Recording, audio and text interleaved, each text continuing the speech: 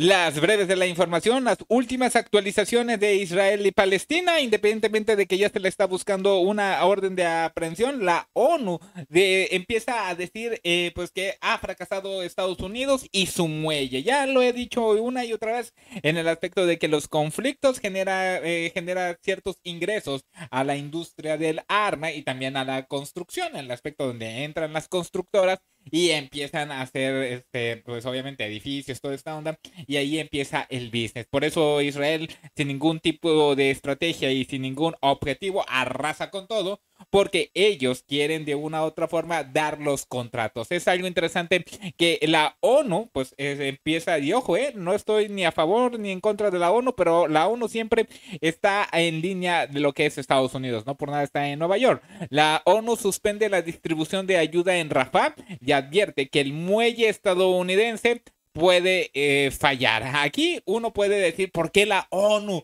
¿Por qué la ONU está quitando el alimento? No está llegando el alimento con la ONU, sin la ONU no estaba llegando el alimento. Pero es interesante lo que establece el día de hoy. Las Naciones Unidas han suspendido la distribución de alimento en la ciudad de Rafah, en el sur de Gaza, que es la frontera para Egipto debido a la falta de suministros, de, pues ahora sí, de despensa y la inseguridad. También dijo que ningún camión de ayuda ha entrado al territorio en los últimos dos días a través de un muelle flotante que creó Estados Unidos, instalado por Estados Unidos para, entregar, eh, para entregas marítimas, y advirtió que el proyecto de 320 millones de dólares puede fracasar a menos que Israel comience a proporcionar las condiciones que necesitan los grupos humanitarios para operar en la seguridad. Pues es más que obvio que no está funcionando nada, es más que obvio que el muelle solamente era un dinerito que buscaban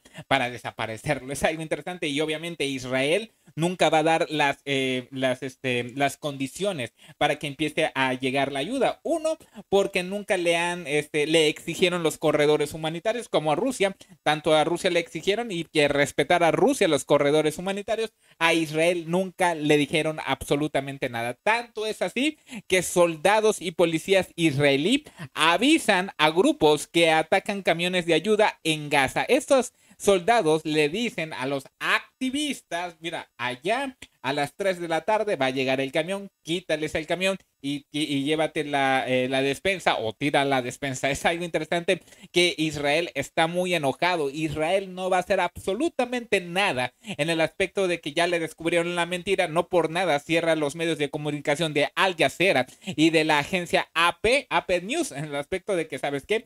Todas esas imágenes que recolectó lo que es Sudáfrica dieron efecto. Y, y tanto es así que está enojado lo que es este... Eh, lo que está eh, enojado eh, Israel, que por ejemplo el mismo fiscal, este que estás viendo en pantalla, este es Karim Khan. Este personaje es el fiscal que pide la orden de arresto. Este, él pertenece a la Corte Penal Internacional. Ya recibe amenazas, pero no quiere decir los nombres de los presidentes, porque él establece que presidentes eh, actuales en, en, funciones lo han estado amenazando. El fiscal de la Corte Internacional, Karim Khan, ha recibido amenazas de ciertos líderes por sus investigaciones contra altos funcionarios israelí y su manera de llevar a cabo eh, pues la guerra en la franja de Gaza. Cito textual, me han hablado algunos líderes electos y fueron muy directos. Este tribunal fue construido para África y para matones como Putin. Está algo interesante lo que este personaje, eh, este personaje dice a lo que es el portal CNN. Bueno, está enojado Netanyahu porque van por una orden de arresto. Chance ni lo vayan a meter a la cárcel solamente es la, eh, pues la catarsis de cómo eh, zafarse de todo esto porque no tienen una, un, plan de posguerra. Oye, después de esto, ¿qué vamos a hacer? No, como no tienen nada de eso, ok, nosotros nos hacemos cargo, nosotros nos hacemos cargos del negocio. Tanto es así que está enojado. Por ejemplo, él eh, establece, es muy interesante, en Noruega da una entrevista. Bueno, Noruega apoya a la Corte Penal Internacional. Esto es lo que dice el ministro de Asuntos Exteriores. Le preguntan, oiga, y va a detendre, y va, y va a arrestar a Netanyahu si se presenta en Noruega, pues adivinen qué, si él o unos dirigentes de Hamas, también acusados eh, de la comparecencia en Noruega, el derecho internacional nos obliga a hacerlo. Los mismos se aplican a todos los países de Europa, excepción de Turquía, afirma Bird Aid. Él dice, ¿sabes qué? Si se presenta, vamos a, detenerlo. Por eso está muy enojado Netanyahu, porque él pensaba que lo iban a, aceptar, iba a dar discursos en Europa de que miren, así lo hicimos, la fuerza de la democracia, pues ya le están dando la vuelta.